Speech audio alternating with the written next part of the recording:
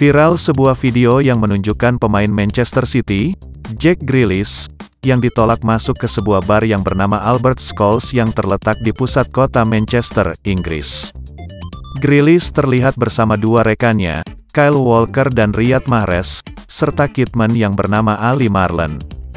Grealish ditolak masuk karena dalam video, ia terlihat seperti sedang mabuk. Ia bahkan berjalan sedikit sempoyongan di depan Albert Scholes.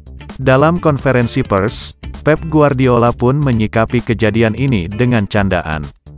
Pep mengaku dirinya kesal karena tidak diajak Jack Grealish dan dua pemain Manchester City lainnya.